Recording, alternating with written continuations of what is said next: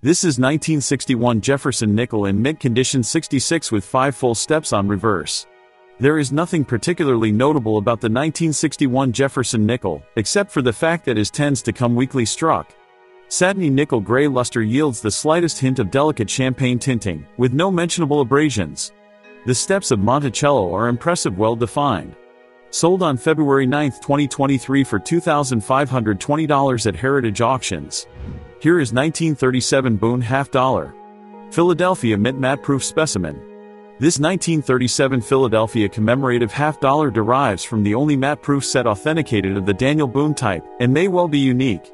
The production of these matte proofs was not recorded by the Mint, and their existence was once unknown to many researchers.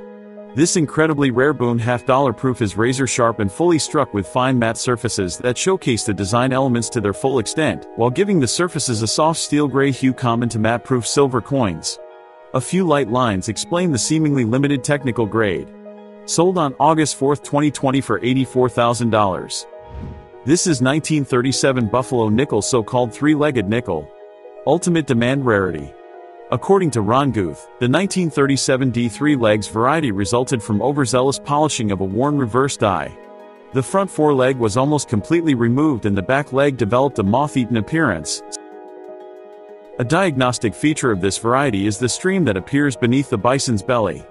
If this feature is not present, beware of an altered coin. This lustrous and sharply struck example has all the eye appeal of the finest regular 1937 D nickels. The definition on the chief's hair, braid knot, and the bison's back are exceptional. The satiny surfaces radiate vivid mint luster with mellow champagne gold shades at the borders and icy lilac toning at the centers. Sold on April 28, 2016 for $85,187.50 at Heritage Auctions. Moving on with this 1926 S Lincoln Cent in Mint State 65 Red. Major Series Condition Rarity. The rarity of the 1926 S Lincoln Cent in gem-full red condition is such that even the most patient and well-funded collectors may never have an opportunity to acquire an example.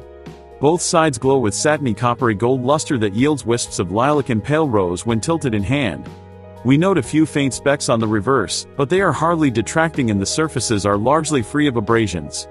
The strike is the hallmark of this coin, showing better peripheral definition than is typically seen on this issue, much of which was struck with heavily worn or eroded dies.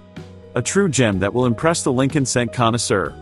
Sold on January 10, 2019 for $90,000 at Heritage Auctions. In the most valuable coin of the episode.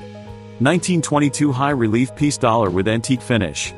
UD 2018 is a recently discovered trial striking of the 1922 high relief peace dollar, struck in business strike format and first reported by David W. Lange in 2007. It is one of the rarest die combinations from 1921 to 1922, a time period when the Mint experimented extensively with the relief of Anthony de Francisci's artistic peace dollar design, in sandblast, satin, proof, and business strike finishes.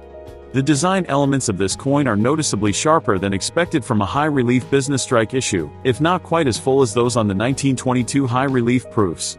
Just a touch of softness shows on Liberty's hair and the eagle's feathers in the centers. The rims are slightly reduced and the diagnostic short ray through the N in 1 is boldly rendered. Sold on January 10, 2019 for $192,000 at Heritage Auctions.